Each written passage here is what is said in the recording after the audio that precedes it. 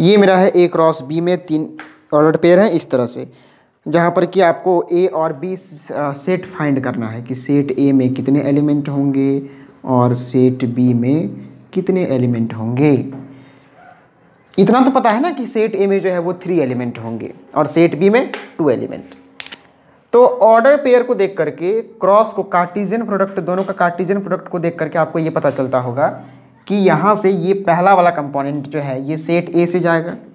यानी कि X belongs to set A Y belongs to set A and Z belongs to set A तीनों X B Y B और Z भी। इसके बाद ये बच गया वन टू वन ये तीनों जाएगा बी से।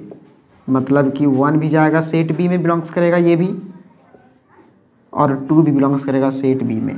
तो सेट ए में कितने एलिमेंट हो गए? एक्स वाई और जेड और उसमें वन और टू तो देख लीजिए कंडीशन सेटिस्फाई हो गया एन में तीन एलिमेंट एन में तीन एलिमेंट इस तरह से मैंने ए और बी को फाइंड भी कर लिया। इसको नोट करिए, फिर चलते हैं क्वेश्चन नंबर टेन को और